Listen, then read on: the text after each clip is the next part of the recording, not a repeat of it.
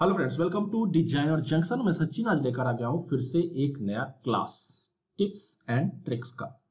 Last class में मैंने आपको बताया कि आप, जैसे बहुत सारे क्वेरीज आते हैं, कैसा पीसी ले, ठीक है रैम है versus graphic card versus CPU तो बहुत सारे हमारे पास क्वेरीज जो आते हैं तो उसी के ऊपर मैंने आपको ऐसे टास्क मैनेजर खोल के और देन आपको बताया कि आपका सीपीयू क्या काम करता है, ग्राफिक कार्ड का आप क्या करता है, ठीक है, मेमोरी क्या काम करता है, उससे ठीक जुड़ा हुआ। लास्ट मैंने अभी अब वीडियो डाला था, आप आई आइकन पे यहाँ लिंक भी मिल जाएगा, जाकर के देख सकते हो उस वीडियो का। चैनल पे जाकर के विज़िट करोगे तो वीडियो में ही मिल जाएगा वो लास्ट इससे पहले वाला वीडियो। सारा को कैलकुलेट करके जीपीयू ठीक है सीपीयू सब कुछ मैंने सीपीयू जीपीयू ठीक है का और रैम का, सबका मैंने फ़र्क बताया कब कैसे क्या कब करता है। ठीक है, उसी से रिलेटेड आज का क्लास है।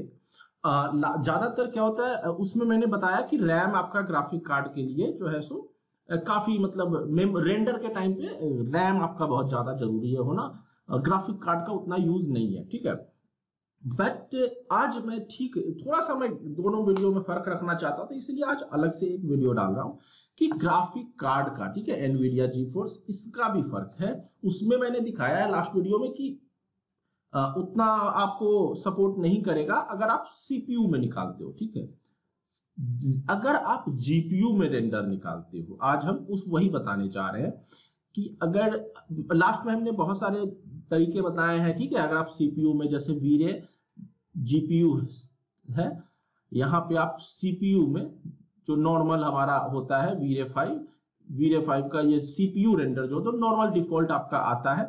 उसमें अगर आप हो देन आपका जो रेंडर सेटिंग मैंने आपको बताया है, बहुत सारे रेंडर सेटिंग्स बताए हैं कि आप कैसे जल्दी रेंडर निकाल सकते हो, इसको आप बारह कर सकते हो, छह कर सकते हो, कैसे आप जल्दी से जल्दी रेंडर निकाल सकते हो। अब मैं आज पूरा, अब और ज़्यादा नहीं बताने जाऊँगा, नहीं तो फिर उसी पे चला जाएगा वीडियो कि कैसे रेंडर फास्ट निकाले और जल्दी सेटिंग में निकाले जल्दी।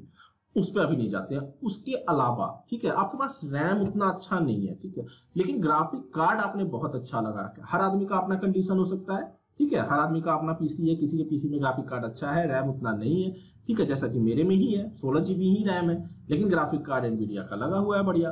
तो डिपेंड करता है आपका कैसा सिस्टम है। तो अब हम क्या करेंगे? आपका, आप ग्राफिक कार्ड का यूज़ कैसे कर सकते हो, ठीक है रेंडरिंग के लिए, ठीक है?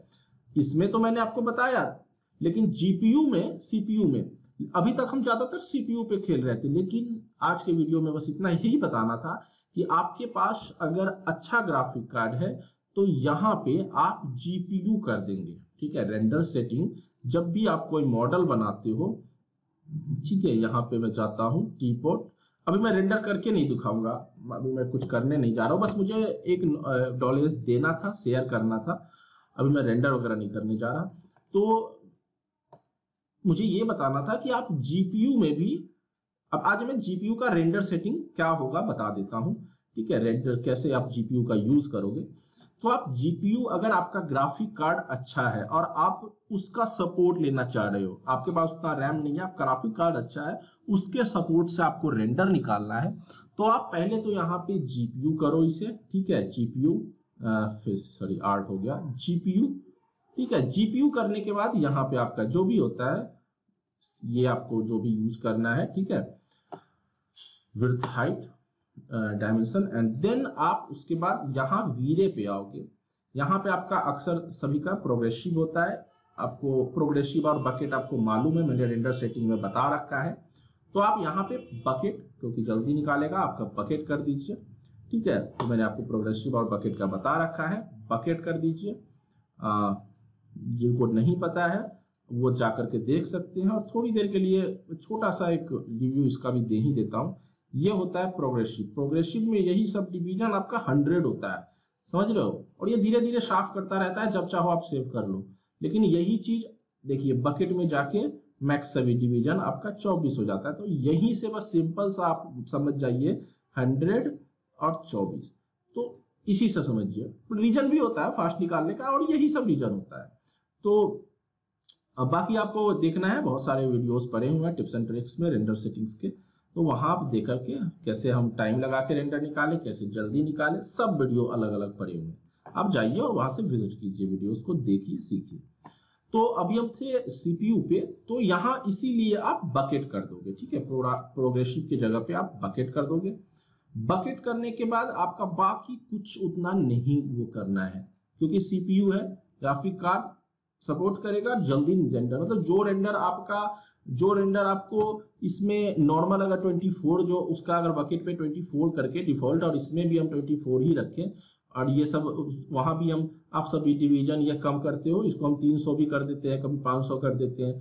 तो वहाँ, अगर आप डिफ़ॉल्ट सारा सेटिंग दोनों का रखते हो ठीक है? तो आपका देखोगे आप नोटिस करोगे जीपीयू आपका आधे से भी कम टाइम लेता है। जो 10 मिनट का रेंडर अगर निकल रहा है सीपीयू में वो जीपीयू में आपका आ, चार मिनट पाँच मिनट के अंदर ही निकल जाएगा वो दस मिनट का रेंडर तो डिपेंड करता है। और और अच्छा ग्राफिक कार्ड है ये मैं नॉर्मल ग्राफिक कार्ड की बात कर रहा हूँ। तो ये डिपेंड करता है। ये है ये चाहो आप कम करो जल्दी और निकालना है नहीं तो रहने दो। रिट्रेस का भी मैंने बता रखा है। बाकी आपको यहाँ आना है उसके बाद ठीक है? यहाँ पे ये सब सेटिंग्स है। यहाँ आपको क्लिक करोगे सॉरी नीचे वाले पे एंड देन आपका यहाँ पे आता है वीरे जीपीयू रेंडर डिवाइस सेलेक्टेड ठीक है?